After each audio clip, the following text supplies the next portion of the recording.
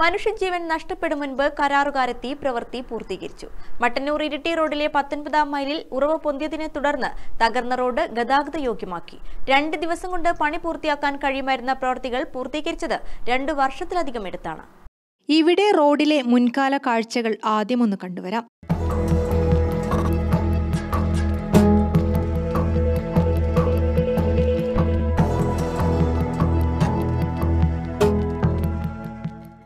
റോഡിന് നടുവിൽ നീരുറവ കാരണം മെക്കാടം ടാറിംഗ് ഉൾപ്പെടെ തകർന്ന് വലിയ ഗർത്തമായിരുന്നു. പരാതികളുടെയും പ്രതിഷേധങ്ങളുടെയും എണ്ണം വർദ്ധിച്ചതോടെ ഇടക്കൊന്നുവന്ന് ഓട്ട അടച്ചു. പിന്നീട് കുറച്ചുനാൾ കഴിഞ്ഞപ്പോൾ ഓട്ടയടച്ച് കരാറുകാർ മടങ്ങി. അത് കഴിഞ്ഞ് അടുത്ത മഴക്കാലം ആയപ്പോൾ വീണ്ടും അടച്ച കുഴിയൊക്കെ മെല്ലെ ടാറിങ് നീക്കി വെള്ളം പുറത്തു വരാൻ തുടങ്ങി. അപ്പോഴാണ് അധികൃതർക്ക് മനസ്സിലായത് റോഡിനടിയിൽ ഉറവയാണെന്ന്. ഓട്ട അടക്കൽ പരിപാടികൾക്ക് ശേഷം കഴിഞ്ഞ ഓഗസ്റ്റിലാണ് ഉറവ ഇല്ലാതാക്കാനുള്ള പ്രവൃത്തികൾ ആരംഭിച്ചത്.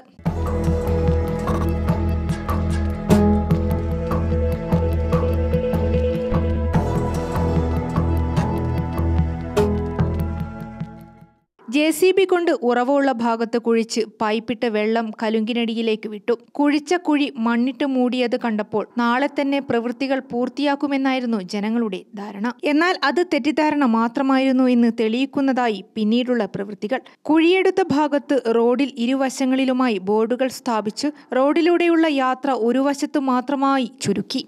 ഇതോടെ അപകടങ്ങളുടെ എണ്ണവും വർദ്ധിച്ചു. ഗുരുതര അപകടങ്ങൾ പതിവായതോടെയാണ് റോഡിന്റെ തകർന്ന ഭാഗം ടാറിംഗ് ചെയ്യാൻ തീരുമാനമായത്.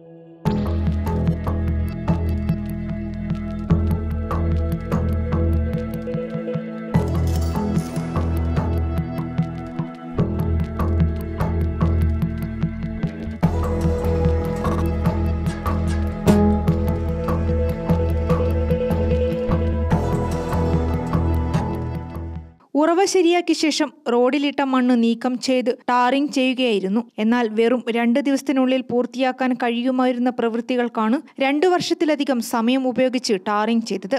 ഈ ഒരു കാലയളവ് കൊണ്ട് ഇവിടെ ഉണ്ടായത് നിരവധി വാഹന അപകടങ്ങളാണ്.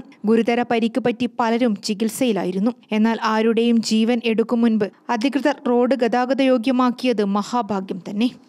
ഗ്രാമിക ന്യൂസ് മട്ടന്നൂർ.